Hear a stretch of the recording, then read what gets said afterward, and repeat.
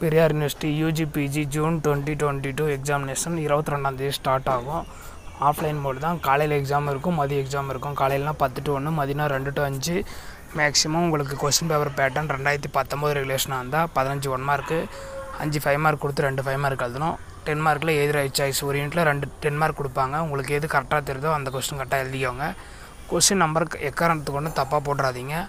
Answer எழுதிட்டே இருக்கீங்கன்னா நான் மிஸ்டேக் ஆகிடுச்சுன்னா அந்த மிஸ்டேக்கான வார்த்தையை ஸ்ட்ரைக் அவுட் பண்ணிட்டு ஹைலைட் பண்ணி காட்டாதீங்க. தப்பாக இருந்தாலும் அந்த வார்த்தையை விட்டுருங்க. புதுசாக கரெக்டான வார்த்தையை எழுதி அடுத்த லைன்லேருந்து ஸ்டார்ட் பண்ணிக்கோங்க. சப்போஸ் மிஸ் கொஸ்டினில் நீங்கள் ஆன்சரே மிஸ் தப்பாக எழுதிட்டீங்கன்னா கூட அதை வந்து நீங்களே ஸ்ட்ரைக் அவுட் பண்ணி இது தப்புன்னு காட்டி கொடுக்காதீங்க. மேக்ஸிமம் நீட்டாக எழுதுங்க. அண்டர்லைன் பண்ணுறதுனா அண்டர்லைன் பண்ணுங்கள் கரெக்டான வார்த் அதுக்கான சூட்டபிள் ஆன்சர் இருந்துச்சுன்னா அண்டர்லைன் பண்ணுறதுனா அண்டர்லைன் பண்ணுங்கள் ஸ்டிக் பென் உங்களுக்கு ஒரு நாலு ஸ்டிக் பென் யூஸ் பண்ணிக்கிறோங்க. ஒய்லெட்டு ப்ளூ பிளாக்கு ப்ரௌன் அந்த கலரில் யூஸ் பண்ணி நீங்கள் ஹைலைட் பண்ணுங்கள் கலர்லாம் நீங்கள் டயக்ராம் மட்டி கொஷின்லாம் டயக்ராம் தெளிவாக ஒரு பக்கம் ஃபுல்லாக கூட டயக்ராம் வரீங்க மேக்ஸிமம் முப்பத்தி நாலு பேஜ் தான் இருக்கும்னு நினைக்கிறேன். ஆஃப்லைன் எக்ஸாம்லேயும் சரி ஆன்லைன் எக்ஸாம்லேயும் நீங்கள் முப்பத்தி நாலு பேஜ் எழுதிக்கலாம் அப்படின்னு சொல்லியிருந்தாங்க. அதுக்கு மிச்சம் தரமாட்டாங்க. புக்லெட்டாக தருவாங்க. ஃபஸ்ட் பேஜில் உங்கள் name register number college name college code plus date and section அதே பிரிண்டடாக வந்துடும் நீங்கள் டென்த்து பப்ளிக் எக்ஸாம் எழுதியிருப்பீங்களா அதில் எப்படி வந்துச்சோ அதே மாதிரி வந்துடும் நீங்கள் உங்கள் சப்ஜெக்ட் கோடு மட் கொஸ்டின் பேப்பர் கோடு கொஸ்டின் பேப்பரில் இருக்கிற கோடு மட்டும் ரெண்டு இடத்துல இல்லை மூணு இடத்துல எழுதுகிற மாதிரி இருக்கும். Page number number of pages written வந்து ஒரு இடத்துல எழுதுகிற மாதிரி இருக்கும். ஒரு இடத்துல ரெண்டு இடத்துல எழுதுகிற மாதிரி இருக்கும். ஒரு சிக்னேச்சர் போடுற மாதிரி இருக்கும். இவ்வளோ தான் நீங்கள் ஃபஸ்ட் பேஜில் யூஸ் பண்ணுவீங்க. வேறு எதுவுமே நீங்கள் கை வைக்கக்கூடாது சப்போஸ் அந்த ஃப்ரண்ட் பேஜில் எதனா மிஸ்டேக் இருக்குது உங்கள் நேமில் இல்லை ரிஜிஸ்ட் நம்பரில் சப்ஜெக்ட் கோடில் சப்ஜெக்ட் நேமில் எதனா மிஸ்டேக் இருக்குன்னா உங்கள் கன்சர்ன் ஆல் சூப்பர்வைசர்கிட்ட சொன்னீங்கன்னா அவங்க கன்சர்ன் சிஓயில் பேசி உங்களுக்கு அது ஃப்ரண்ட் பேஜை மாற்றி கொடுத்துருவாங்க. நீங்கள் அதில் எதுவும் ஸ்ட்ரைக் அவுட் பண்ண வேண்டிய அவசியம் கிடையாது. எக்ஸாம் டைம் கீப்பப் பண்ணி எழுதுங்க. மாடல் கொஸ்டின் பேப்பர் ப்ளஸ் போன செமஸ்டர் ஆன்லைன் மோடில் எழுதின கொஸ்டின் பேப்பர் எல்லாமே கன்சர்ன் ஹெச்ஓடி இல்லைனா சீனியர் ஸ்டூடெண்ட்ஸ் கிட்ட இருக்கும்.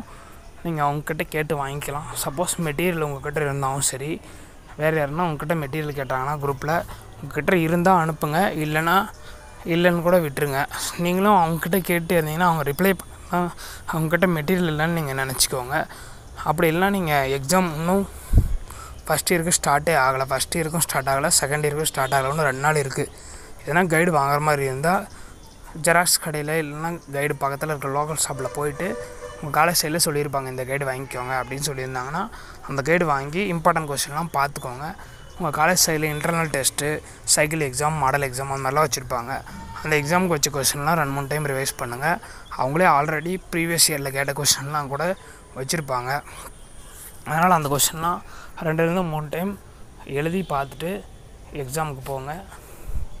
ரிவிஷன் இஸ் கம்பல்சரி நீங்கள் ஆஃப்லைனில் இதுதான் ஃபஸ்ட் எக்ஸாம் எழுத போகிறீங்க ரெண்டாயிரத்தி பத்தொம்போது ரெகுலேஷன் யூஜி ஃபைனல் இயராக இருந்தால் ஃபஸ்ட் ஒரே ஒரு டைம் மட்டும் ஆஃப்லைன் எக்ஸாம் எழுதியிருப்பாங்க.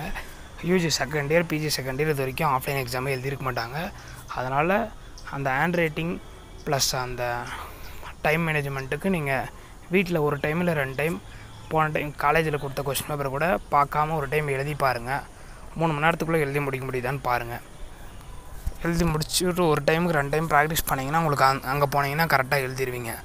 நீட்டாக எழுதுங்க. ஸ்ட்ரைக் அவுட் மட்டும் பண்ணாதீங்க. பிஜி தேர்ட்டி எயிட் மார்க் எடுக்கணும்.